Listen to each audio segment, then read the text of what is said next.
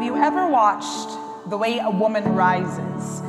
The way her feet first press into the ground because she knows what it means to fall and then to rise. Have you ever watched the way a woman loves? How she uses her hands first and then her heart second, as if every person who's ever fallen in her steady and consistent palms. Have you ever watched the way a woman dances?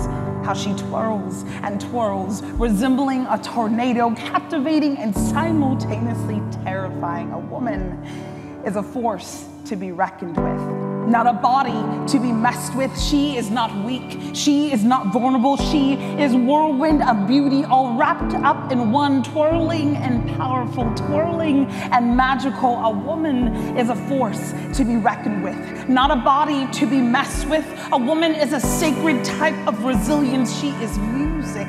Every time she rises, she is grace. Every time she loves, she is freedom. Every time she dances, all things curve and hit, strength and safe. Both the lighthouse and the wave, both the tornado and the calm, the necessary tide for a fresh start.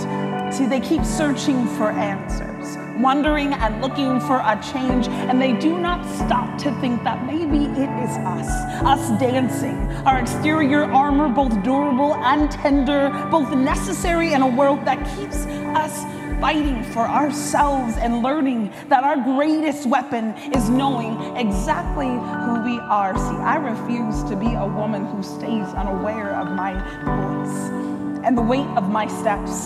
Arielle means lioness, as if there was a roaring strength placed inside of me before I even knew a single word. And there is a lioness in all of us, caged in between our rib cages where our breath meets our soul. She is the reminder that we all have lion hearts reminds us that though we are women who sometimes may fall, we are also women who knows what it means to fall and to rise, to fall and to rise. A reminder of no matter how many times she may fall, she will always get back up.